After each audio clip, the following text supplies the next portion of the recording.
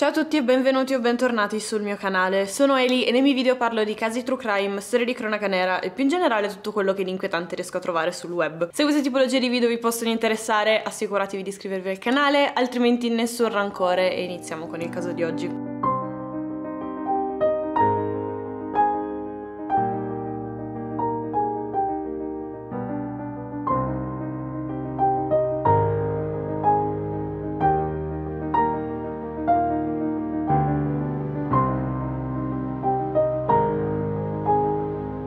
Caso di oggi ci troviamo in California, più precisamente nella Bay Area, in una città di circa 100.000 abitanti chiamata Vallejo. Situata poco più a nord di San Francisco, Vallejo è secondo una recente lista di Forbes tra i posti migliori in cui vivere in California e stando alle fotografie che ho trovato su internet direi come dargli torto. È una città molto viva, si affaccia sulla baia di San Pablo e ha degli scenari davvero meravigliosi. Qui nel 2015 viveva un ragazzo di 30 anni di nome Aaron Quinn che era il classico ragazzo americano nell'immaginario collettivo italiano direi. Era un ex quarterback di successo nella squadra di football del liceo, era poi andato all'università, era diventato un fisioterapista, aveva aperto uno studio, faceva una discreta quantità di soldi. Era stato fidanzato per moltissimi anni con la sua fidanzata del liceo, erano stati fidanzati per tutta l'università, si dovevano in realtà sposare, poi a pochi mesi dal matrimonio Aaron aveva scoperto che si era preso un po' di corna, quindi insomma aveva deciso di non sposarsi più e rompere il fidanzato fidanzamento ufficiale. Nonostante tutto si ributtò sul lavoro, riuscì di fatto un po' a dimenticare questa sua ex fidanzata,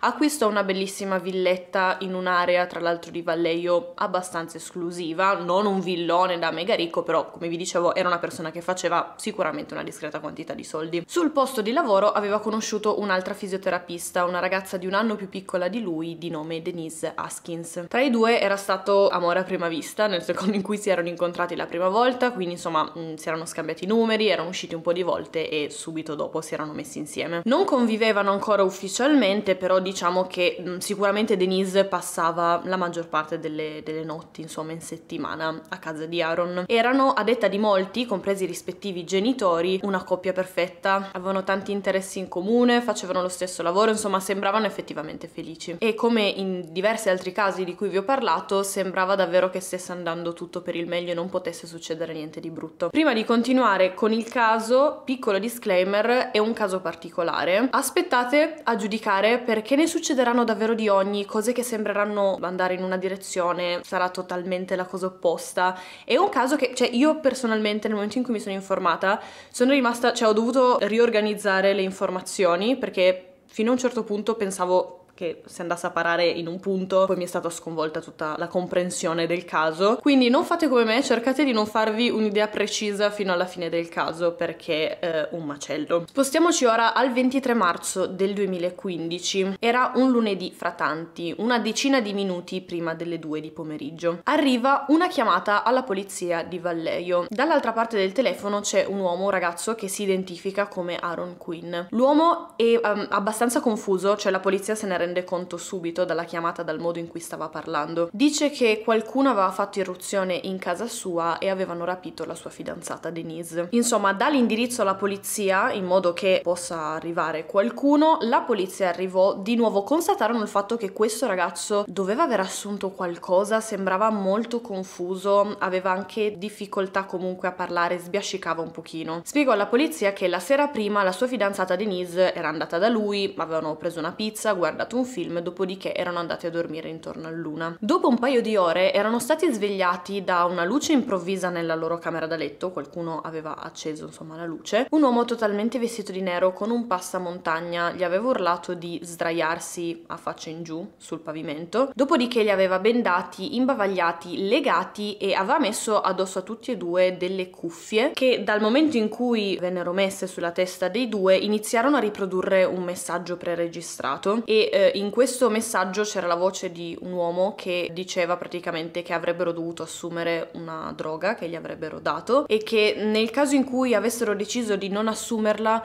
gliel'avrebbero comunque iniettata a forza. Quindi il suggerimento di questa voce registrata era non fate storie, bevete quello che vi daranno. Da qui passeranno un po' di minuti, durante i quali Aaron non sentì né vide niente appunto per la benda e le cuffie alle orecchie. Dopo un po' qualcuno lo prese, lo portò in cucina dove gli toglierà la benda e le cuffie. Davanti a lui c'era una persona appunto sempre vestita di nero con un passamontagna, quindi Aaron non fu tanto in grado di vedere i connotati di questa persona, di riconoscere questa persona. L'aggressore gli chiederà in primo luogo i dati del computer, cioè per accedere al suo computer e Aaron glieli darà, perché a questo punto pensava ancora fosse semplicemente una rapina, quindi voleva assicurarsi di fare tutto quello che gli veniva richiesto per farli andare via il più in fretta possibile. Prese poi uno scotch rosso, fece una riga davanti praticamente all'ingresso della cucina, dopodiché prese da un borsone una videocamera e eh, insomma da dove era Aaron non riuscì a vederlo ma capì che la stava in qualche modo fissando al soffitto. Rientrò poi in cucina, gli disse che sapeva perfettamente chi fosse,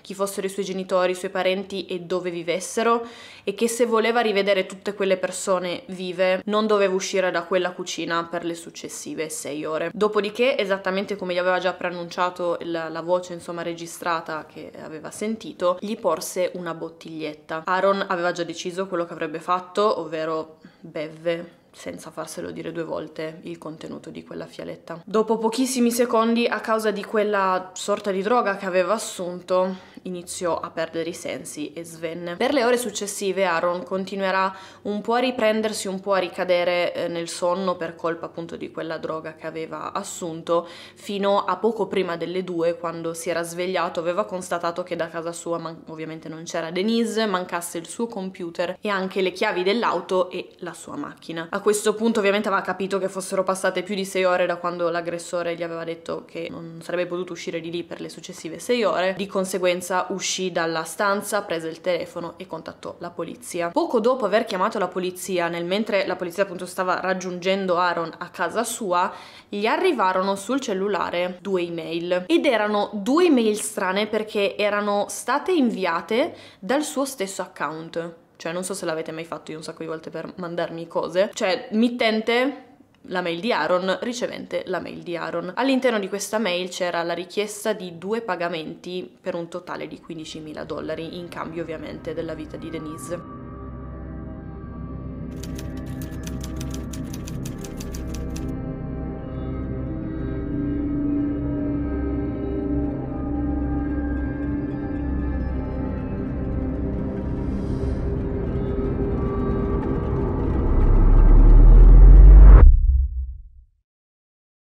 La prima cosa che fece la polizia chiaramente fu analizzare la scena del crimine, la casa di Aaron ed effettivamente trovarono tutte cose che combaciarono con la storia che aveva appena raccontato. Trovarono dello scotch rosso in cucina, trovarono una telecamera montata, cioè montata, appiccicata con dell'altro nastro adesivo al soffitto, trovarono la boccetta vuota all'interno del quale c'era la droga che aveva bevuto, trovarono dei, delle corde con cui era stato legato Aaron, insomma combaciava tutto. Però perché Aaron e Denise? Come vi dicevo, Aaron era sì una persona che faceva un po' di soldi, ma di certo non era milionario, comunque una persona alla quale puoi chiedere chissà che riscatto, infatti il riscatto era anche abbastanza poco, non so se avete mai visto altri casi dove chiedono il riscatto, però solitamente chiedono molto di più, cioè 15.000 dollari non sono pochi, ma non sono tanti per un riscatto. L'altra domanda che si fece alla polizia è perché dei criminali così organizzati, perché oggettivamente era stata una cosa chirurgica, organizzatissima, non, non, avevano fatto neanche tanto rumore, cioè dai, i vicini non si erano accorti di niente,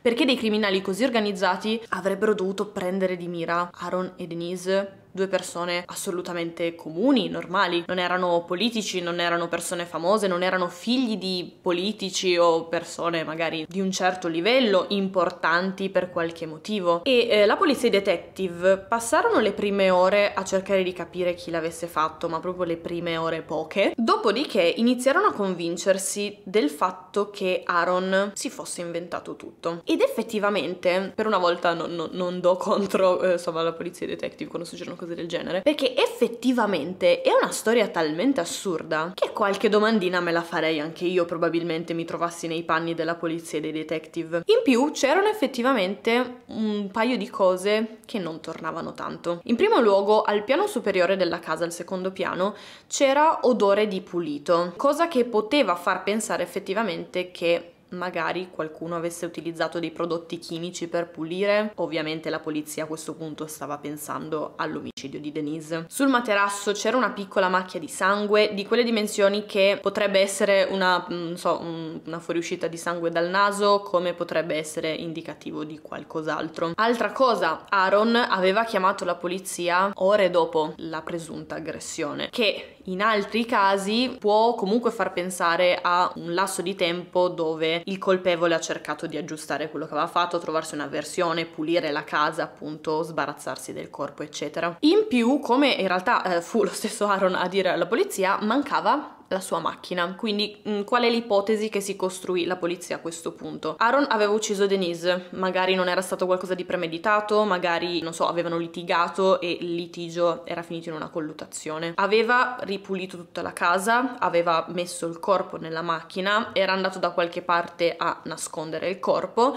aveva abbandonato l'auto perché chiaramente sopra c'erano tracce di, di, Denise, magari di sangue, prove che lo avrebbero incriminato. Dopodiché era ritornato a casa e aveva inscenato il tutto, mm, si era creato tutta questa storiella del rapimento per sviare le indagini, per far sembrare che non fosse lui il responsabile. E come vi avevo detto già in un paio di altri casi, il problema di quando la polizia e i detective si fanno un certo tipo di ipotesi è che se la prendono troppo per vera, cioè non ci sono effettivamente troppe prove a favore della mia ipotesi, però la prendo per assolutamente vera, da quel momento in poi indagano per confermare quell'ipotesi. Ed è un macello, cioè per molti casi, anche che ho trattato in passato, è stato un macello e purtroppo anche nel caso di oggi. Una cosa che fecero, che a prescindere da tutto, a mio parere fu una cosa poco professionale, perché anche se sei convinto di una cosa, boh, si sa mai, spensero il telefono, cioè o meglio, misero il telefono di Aaron in modalità aereo e lo sequestrarono, glielo, ten- glielo tennero lontano. Cosa che posso capire che a questo punto loro erano convinti Aaron,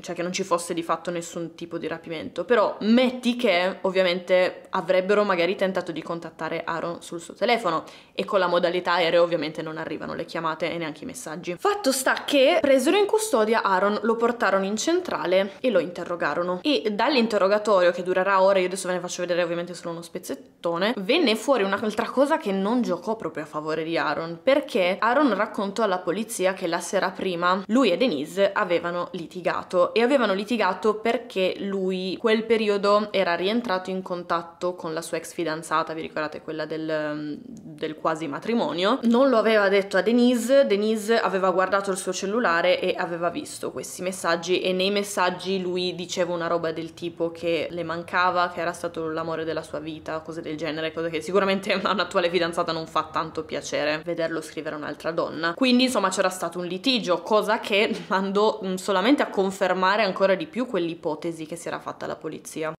I then talked to my ex at that time when I was still dating Denise. Is there tension in the relationship? Is she mad? Uh, I mean, she's concerned. Okay. Is she cheating? No, well, she felt that emotionally that was uh, that was cheating in some sense. I mean, did she like discover something? Well, I mean, was she like going through your phone and like, you know, what the hell is she this? Through my phone. What'd she find?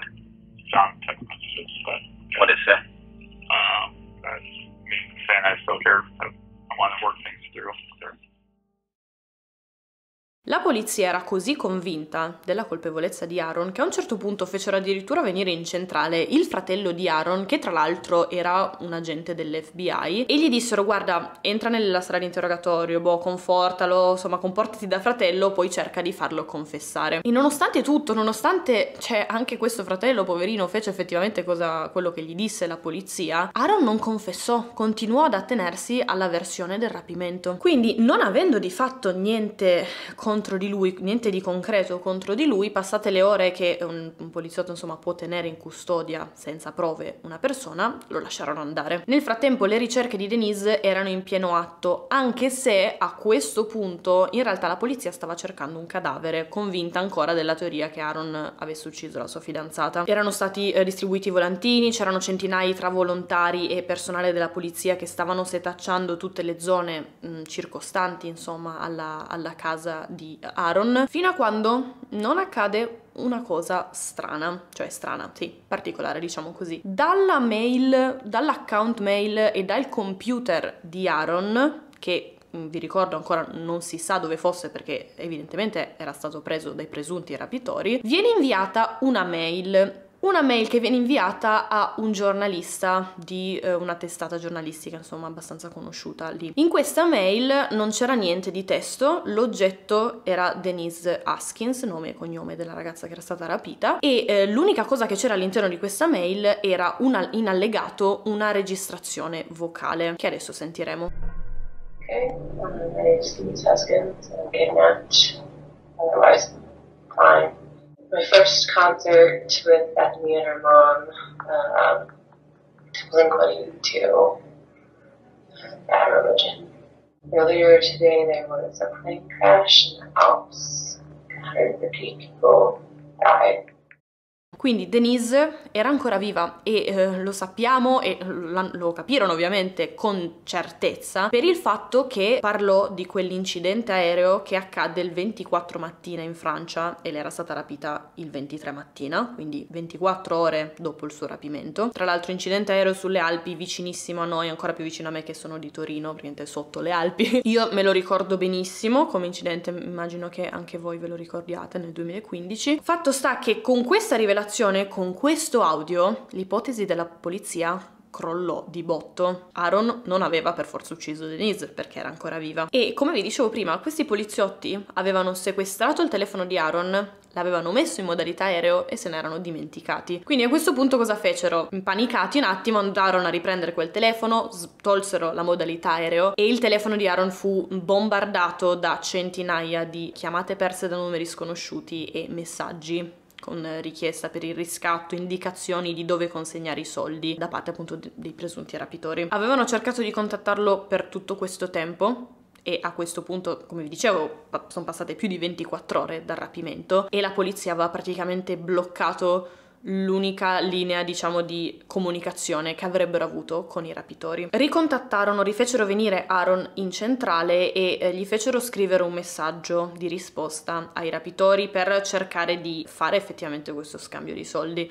La paura della polizia a questo punto era che la pazienza dei rapitori fosse decisamente al limite, magari impanicati dal fatto che non gli stavano rispondendo avrebbero ucciso Denise. Era una situazione potenzialmente molto grave e soprattutto tutta sulle spalle livello di responsabilità della polizia di Vallejo. Aaron inviò un messaggio in risposta a questi rapitori, non ricevette nessuna risposta. Fino al giorno dopo, il 25 marzo, quando accadde una cosa ancora più assurda in questo caso. Denise chiamò dal telefono del giardiniere di suo padre la polizia per dire di essere viva.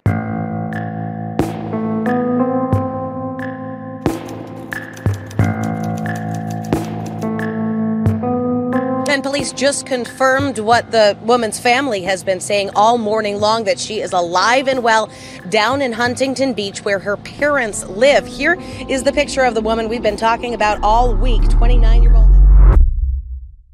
Era stata rilasciata dai suoi rapitori a Long Beach poco più a sud di Los Angeles.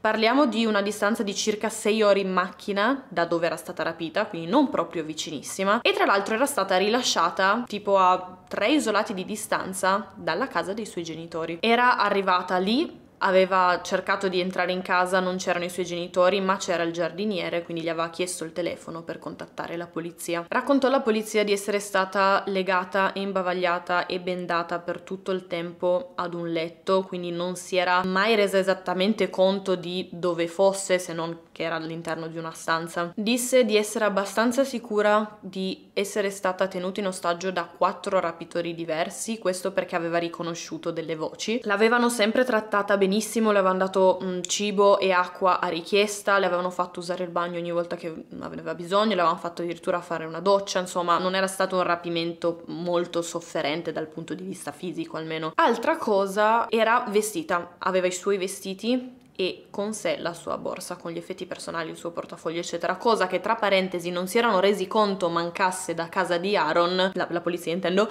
perché ovviamente avevano quell'ipotesi, ok, Denise è morta, Aaron l'ha uccisa e ha nascosto il suo cadavere, quindi se ne sarebbero anche resi conto prima che mancavano appunto i suoi effetti personali se avessero fatto le indagini con una logica. Questa cosa, cioè il fatto che era vestita con una borsa, mm, il poliziotto con cui parlò la notò, quindi le chiese come era possibile che era stata rapita in mezzo alla notte presumibilmente in pigiama, come era possibile che avesse i suoi vestiti e la sua borsa con sé, e lei disse che erano stati proprio i suoi rapitori ad aver preso dei vestiti per lei e la sua borsa il giorno in cui era stata rapita. A questo punto Denise fece una cosa strana, tra virgolette, che secondo me fece perché stava iniziando ad avvertire i toni un po' accusatori del, del poliziotto del detective che stava parlando con lei, ovvero chiese di poter parlare con un avvocato prima di prendere parte a un vero e proprio interrogatorio. Cosa che ovviamente da un lato è diritto sacrosanto poter parlare con un avvocato prima di un interrogatorio o per farsi supportare durante un interrogatorio. Dall'altro lato, la polizia prese questa affermazione come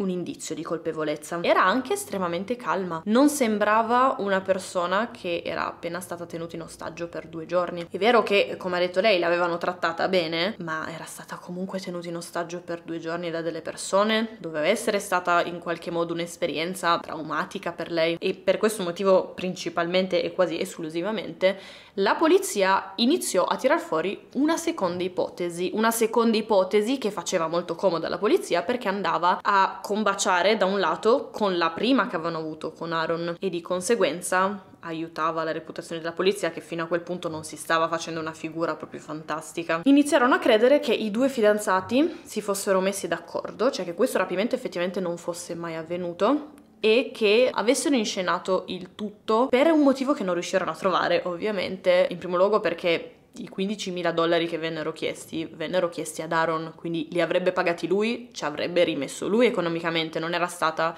non so, non era stato qualcosa per un'assicurazione o per chiedere soldi, non lo so, ai loro genitori o mm, allo Stato, al comune, eccetera. Però vollero così tanto pararsi la schiena che mm, partirono per la loro tangente con questa con ipotesi, ignorando di nuovo tutto altri segnali, altri indizi, altri, il fatto tipo che non c'era un movente o cose del genere. E così purtroppo fecero anche i media e qua c'è nel senso la responsabilità che ci abbiamo visto anche casi italiani dove i media sono sempre partiti per la loro tangente, a volte distruggendo la reputazione e le vite delle persone. E, e infatti soprattutto con Denise, perché poi come al solito c'è un accanimento particolare con le donne, casi, in casi in generale come questo, chiamandola la Gone Girl di Vallejo, non so se avete visto il film, c'è una ragazza che eh, inscena un rapimento, una violenza anche da parte del, del suo fidanzato per incastrarlo. Li chiamarono i truffatori, c'era, ci fu davvero un periodo dove li seguivano, cioè ogni volta che uscivano di casa c'erano 4-5 persone con le telecamere, giornalisti che gli facevano domande, cose del genere. E loro continuarono a mantenere la versione del rapimento, la stessa versione raccontata da uno e dall'altra. La polizia a un certo punto gli propose addirittura un patteggiamento, gli dissero il primo di voi che confessa ha l'immunità, cioè non, non potrà essere per, perseguito in tribunale, non, avrà, eh, non andrà in prigione, cose del genere.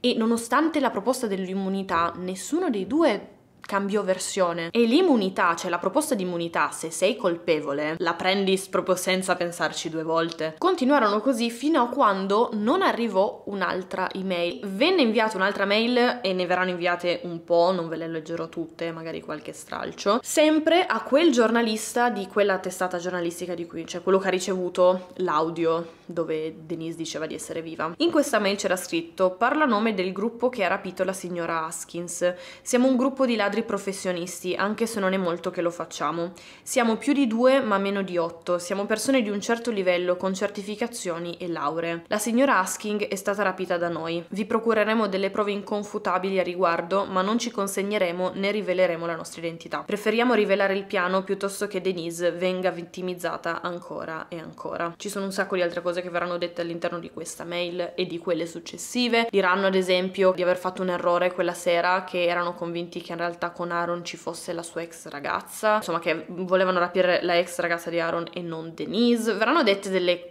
cose, tante cose, cioè mail proprio lunghissime, piene di dettagli, cosa che purtroppo alla polizia non fece altro che confermare il fatto che ci fosse qualcosa che non andava in questo rapimento. Anche quella mail sembrava estremamente lunga e artefatta. In più, una cosa strana, perché dei rapitori dovrebbero preoccuparsi del fatto che una loro vittima venga in qualche modo accusata di quello che avevano fatto loro.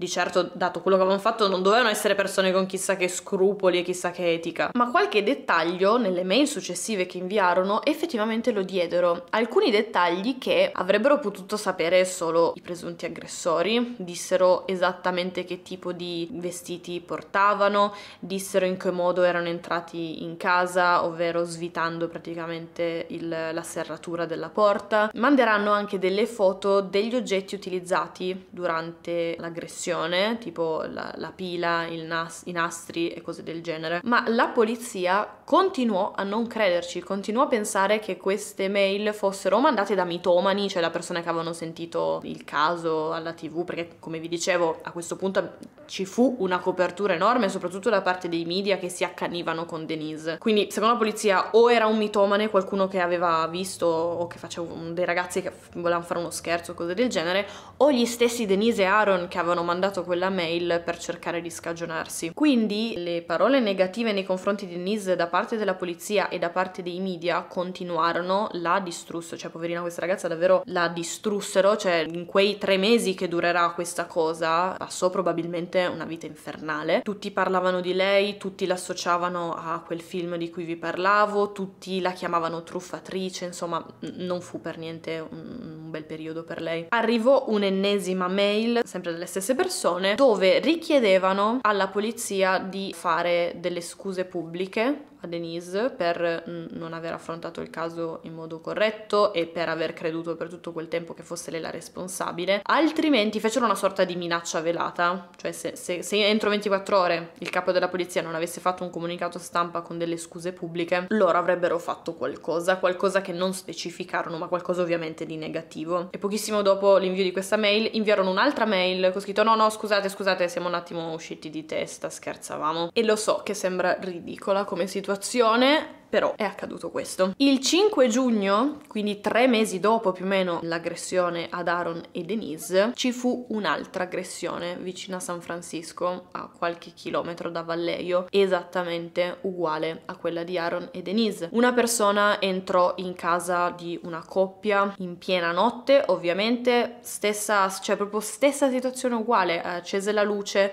gli disse di mettersi a pancia in giù, legò e imbavagliò eh, prima l'uomo. Nel frattempo la la donna riuscì a liberarsi, a scappare, a chiudersi in una stanza col suo telefono e fortunatamente contattò la polizia. Quando questa donna chiaramente si chiuse in bagno per chiamare la polizia, questo rapitore scappò, lasciando lì, lasciandosi dietro, un borsone all'interno del quale troveranno corde, boccette con all'interno una droga, una sorta di anestesia liquida, adesso non, non sono esperta ovviamente di farmaci, e trovarono anche un telefono, il telefono del presunto rapitore. Ora, il telefono non era intestato a nessuno, quindi cioè, ovviamente la prima cosa che controllarono fu se appunto appartenesse a qualcuno, ma non era intestato a un nome, erano di quei tipo telefoni prepagati che si acquistano nei negozi. Di conseguenza, l'altra cosa che fecero fu quella di tracciare il GPS del telefono e gli spostamenti che aveva fatto nelle ore prima. E eh, sembrava effettivamente che questo rapitore avesse una sorta di base, ovvero una villa poco fuori da San Francisco, in un paesino attaccato praticamente a San Francisco. Andarono a ispezionarla e trovarono una casa con la porta sfondata, era evidentemente una casa o delle vacanze o una casa abbandonata, e dentro c'era un macello assurdo, c'era roba buttata ovunque e tra le tante cose che trovarono all'interno di questa casa trovarono un borsone simile a quello insomma che avevano trovato, trovarono dello scotch rosso, trovarono altre boccette di quella droga di cui vi parlavo prima e per ultimo nascosto in una stanza all'estremo praticamente rispetto al, all'ingresso trovarono un uomo.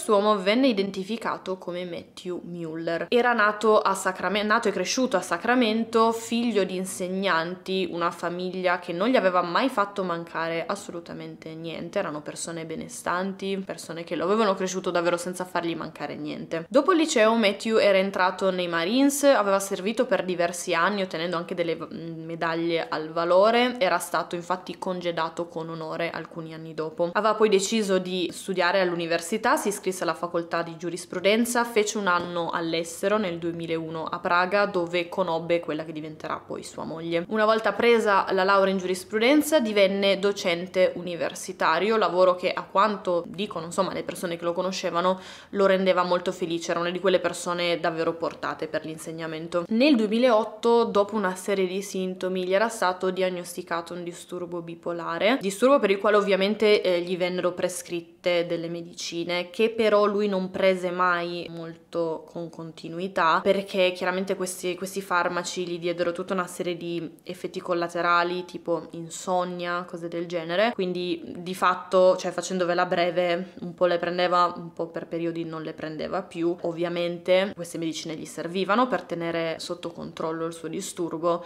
di conseguenza col passare degli anni il suo disturbo peggiorò, iniziò a avere delle vere e proprie crisi psicotiche, mh, vedeva cose che non c'erano, sentiva voci che non c'erano. Fatto sta che sua moglie lo lasciò, venne licenziato dal lavoro perché questo disturbo iniziò a diventare invalidante per lui e nell'arco di pochissimo tempo perse davvero tutto quello che si era costruito nel corso degli anni. Con il passare degli anni verrà indagato per casi similissimi ai casi di Denise e di quella coppia, insomma, che poi fortunatamente è riuscita a chiamare la polizia. Nel 2009 una donna aveva chiamato la polizia dopo che un uomo era entrato in casa sua, aveva cercato di costringerla a bere una boccetta di liquido e dopo che lei l'aveva bevuta, insomma, aveva iniziato a sentirsi un po' rintontita e quest'uomo aveva tentato di violentarla. Non c'era riuscito fortunatamente perché lei era riuscita a respingerlo e a chiamare aiuto. La stessa cosa accadde a un'altra donna il mese dopo in una città vicina. E ancora mh, fatti simili di eh, qualcuno che entrava in casa e cercava di far bere questa sostanza qua alle persone accadde nel 2012 e nel 2014. Nel 2015, guarda caso,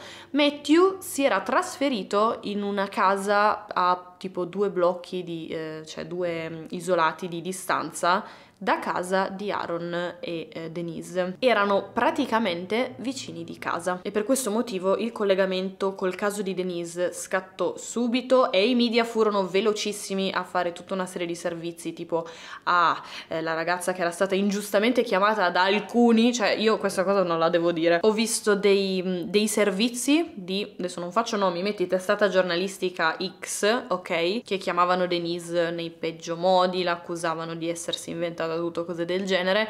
La stessa testata fece poi un servizio tipo dicendo ah quella che era stata erroneamente chiamata da alcune testate giornalistiche una truffatrice, una cosa del genere, invece eh, cioè ignorando totalmente che facevano, avevano fatto assolutamente parte del problema di, dei, cioè dei tantissimi media che avevano, che avevano insomma ha detto le peggio cose di questa ragazza. Matthew Mueller si dichiarò colpevole eh, non solo del caso di rapimento di Denise, ma anche dei casi di cui vi ho parlato che a quel punto erano ancora irrisolti. Non, non dirà mai il motivo per cui l'ha fatto Quei 15.000 dollari potevano essere un movente, però era anche l'unica volta che aveva chiesto un riscatto. In più non si seppero mai spiegare di fatto. Vi ricordate che Denise quando era stata cioè si era tra virgolette salvata da sola, già aveva parlato con la polizia, aveva detto di aver sentito quattro voci diverse degli aggressori. Non sono mai riusciti a capire chi fossero quelle altre tre persone, se erano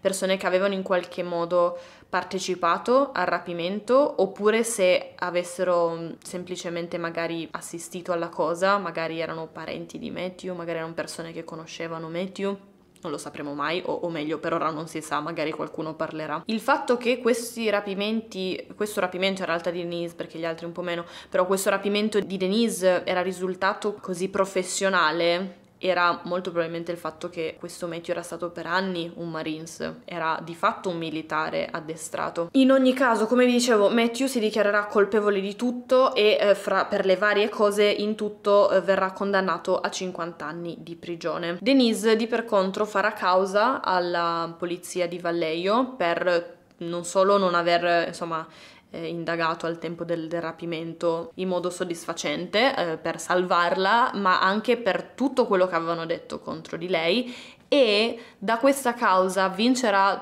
2 milioni e mezzo di dollari, che sono un bel po' di soldi. Altra cosa positiva per loro, Denise e Aaron alla fine si sono sposati, stanno ancora insieme e hanno tra l'altro scritto un libro che se trovo, ovviamente non penso che ci sia la, traduzione italiana, in ogni caso se lo trovo vi metto eh, il link in descrizione, perché è sicuramente, cioè come avrete visto da eh, tutto quello che vi ho raccontato, è sicuramente un caso per cui vale la pena, cioè che sembra davvero tirato fuori da un libro, da un film, quindi sicuramente sarà un libro molto interessante. Fatemi sapere che cosa ne pensate di questo caso assurdo nei commenti, grazie come al solito di essere arrivati fino a questo punto del video, se volete sostenere il canale iscrivetevi, lasciate un mi piace, un commento, seguitemi sui vari social. Per il caso di oggi era tutto, noi ci rivediamo con un prossimo video.